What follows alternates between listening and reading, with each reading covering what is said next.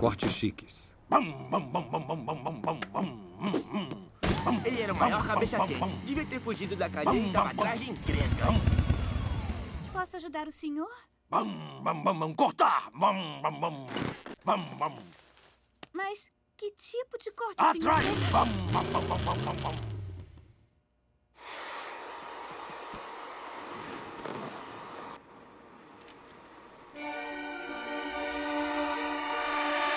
Espera aí, eu resolvo isso. Então, qual o seu nome, querido? Ganda! Entendi, Gunnar. E que corte de cabelo vamos fazer hoje? Atrás! Ah, sim, atrás, tudo bem. Hum, mas você não quer que a gente corte esse seu rabo de cavalo, não é?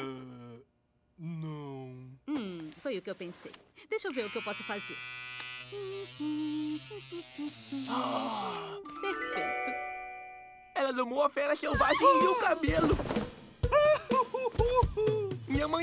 Demais. O moço saiu do salão até mais sinistro do que antes.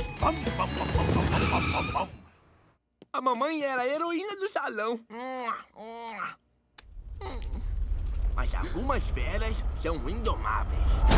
Sandy! Sandy. O nome dela era Sandy. Ela ia no salão o tempo todo. Às vezes ela nem cortava o cabelo. Ela ia lá só pra mamãe enxagar o cabelo. Ela era tão velha, acho até que ela era meio robô. Deve ser por isso que ela era tão má, porque ela era um robô. Prontinho, amor. É. Cadê a loirinha? Eu exijo ver a loirinha. Eu só falo com a loirinha. Uma criança trabalhando num salão? Que isso? Ah, ei, ei. É o meu filho, Clarence, que estava só brincando com a vassoura da mamãe. Mas ele vai deixar a nossa amiga Sandy em paz agora e sentar que nem um bom mocinho, não é? E o meu trabalho, mãe? Que tal fazer uma pausa por um tempinho? Ah, Ai, me desculpa por isso, Sandy. Vem pra cá pra gente cuidar de você.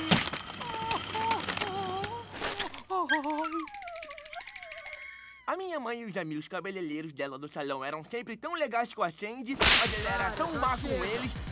As férias inteiras, todos os dias, ela ficava mais, mais, mais malvada. Malvada demais. Ficou bom, não? Na próxima vez é melhor ficar bonito. Eu quero pagar pelo bom serviço. Bom dia!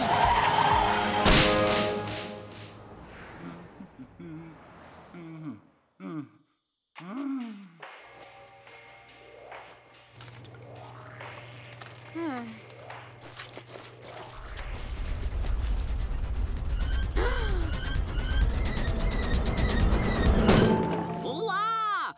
O Willy entrou. Se a sua fome atacou, o meu time chegou. Quem aí quer provar? Eu quero.